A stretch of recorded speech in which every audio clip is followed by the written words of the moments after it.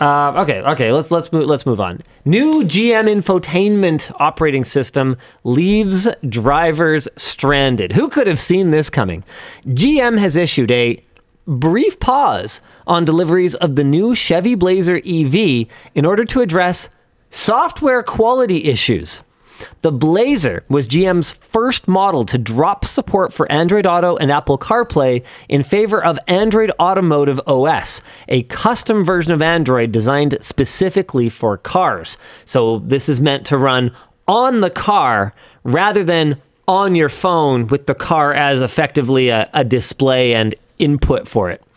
The car's launch has reportedly been plagued with infotainment bugs that have left drivers stranded, including InsideEVs writer Kevin Williams, whose vehicle infotainment system went blank while he was driving, failed to charge, then produced a service vehicle soon error message.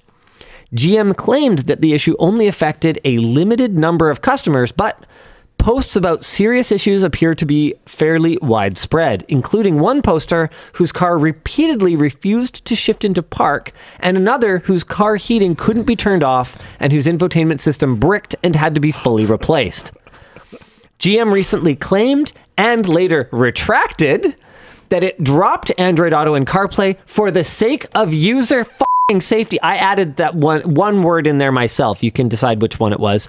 Because the apps are buggy and sometimes force drivers to take their attention off the road. Oh, well, this is much better. GM. Why is GM so determined to suck?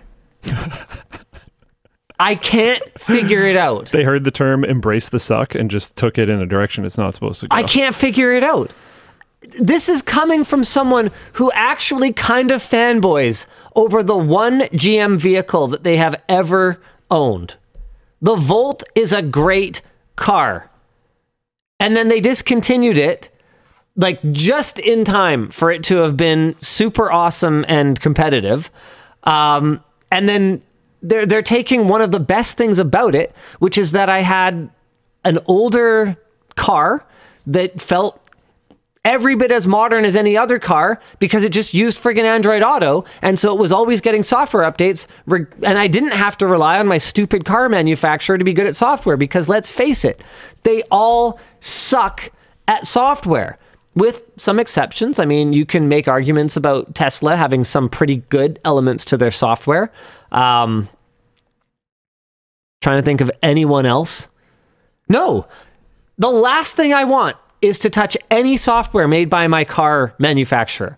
I want to use software that is made by whoever I chose to put in my pocket where it's already logged into all of my crap all the time and everything works and is set up pretty much the way that I'd expect it to. And then when I change my car or get in someone else's car, I just plug in, I, I rent a car, boom, I'm ready to go. I'm off to the races. That is a great user experience, and anything else is a giant boatload of suck. And I'm, I don't even take any pleasure in being right about this, but it was so obvious that this was going to be a giant pile of garbage and a disadvantage for GM's buyers that I just, I can't fathom it. Like, obviously, I'm not saying, well, I should be CEO of GM. I'm not sitting here, you know, in front of my TV talking about how much better of a coach for the Patriots I could be or whatever, right? Like, that's not the point. It's just, I don't know. I'm sure there's engineers at GM who would have known better. Maybe just talk to the people internally. That's leadership, right? You just talk to people. Someone could have told you that this is probably a bad idea. And I'm sure there's there's business monster reasons for doing it, but I don't care. There's business monster reasons for making desirable cars that people want to buy and drive. Why don't you do that? Why don't you focus on that and worry a little bit less about how to squeeze more money out of the data you collect from your customers? Just an just an idea. Crazy idea. I know.